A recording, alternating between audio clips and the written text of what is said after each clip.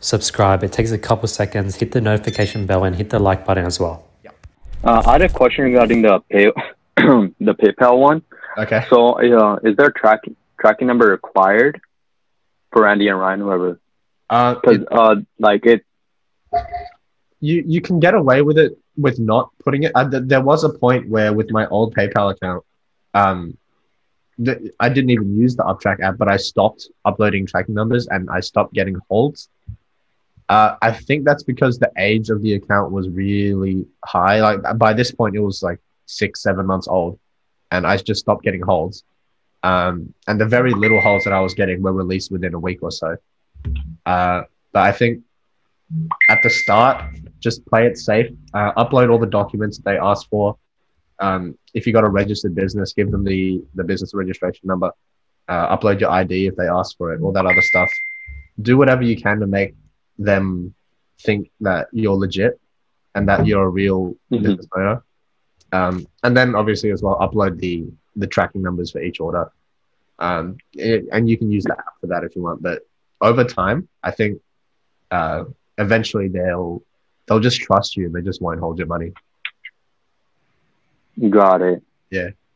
Because uh, I never did it like since the beginning, but recently they asked one time, and I gave them a call, and they just don't hold my account um because I, the I had it for about two years, so Yeah. I guess it's not required on this one, but a fresh account is probably required. Yeah, yeah, because you know with PayPal when they when they notice a new account open up and they see funds straight away coming in, it obviously you can see Mhm. why that looks really sus on their end. So they need to confirm a lot of things with you. Um, and I think the rule is for a new account when you get holds, they're on hold for like 21 days. And after the 21st Mhm. day, no matter if the is tracking numbers or not, if there's no complaint by the customer, they just release the funds.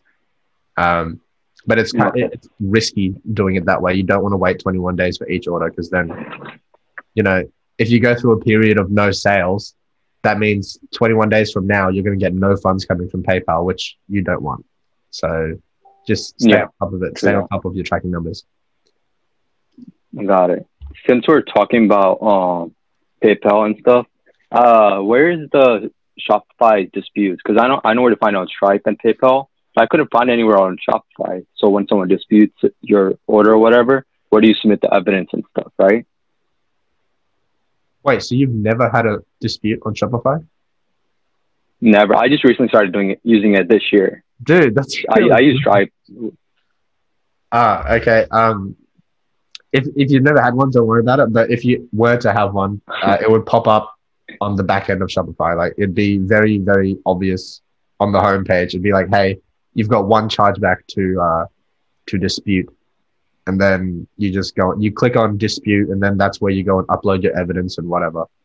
Um, but if you've never ever got one, man, feel feel good because that's amazing. They're super annoying. Got it. Yeah, because I had a recent one on when I switched over from uh Stripe, like a few days ago, uh, for like hundred and like fifty dollars, and it was like a fraudulent one. And I submitted all the evidence, so I'm just waiting on that. And Yeah. that that's what made me wonder. I was like, "Where's the Shopify one?" Because you could usually see, see it, but I didn't see anything on Shopify Yeah. like back end settings or anywhere. I mean, no, no matter what platform you're being Mhm. you got a dispute on, they're they're always hard to win. Um, especially Mhm. if you reach out to the customer and they just don't respond, which happens all the time, Mhm. and it's frustrating. So, Mhm. uh, yeah, man, just do your best. Upload all the evidence you can. If you lose, Mhm.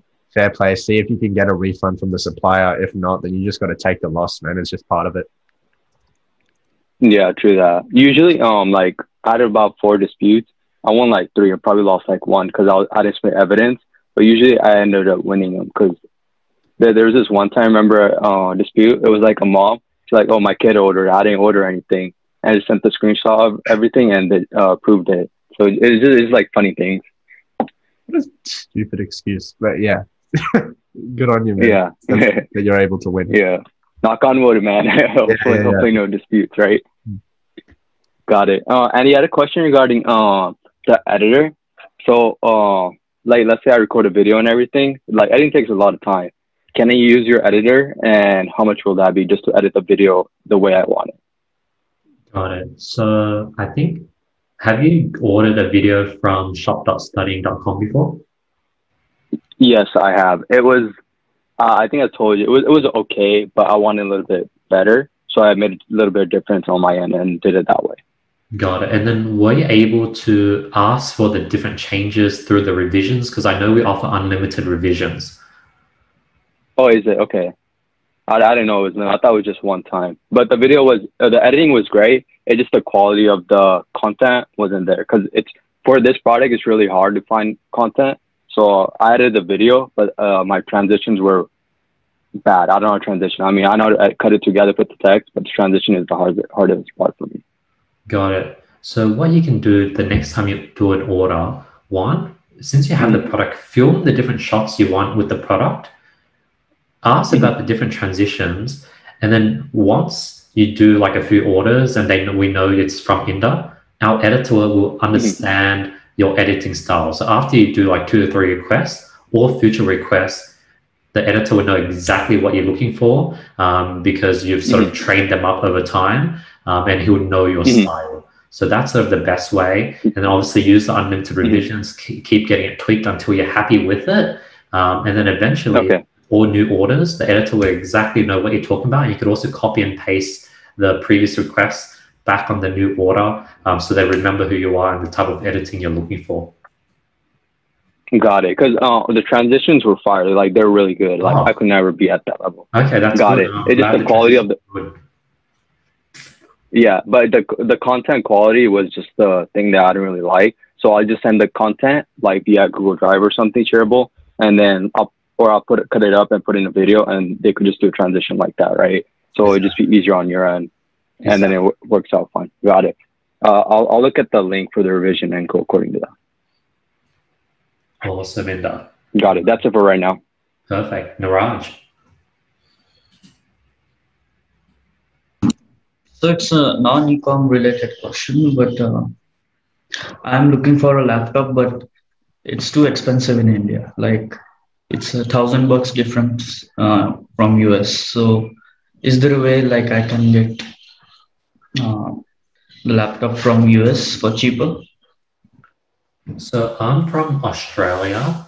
Um, I'm guessing if you were to ship laptops over, it might actually, I know for sure that it's going to probably be more expensive because if laptops in America were way cheaper, there's probably some local that's already shipping them in bulk and buying them at a much lower price and then marking it up in India. Um,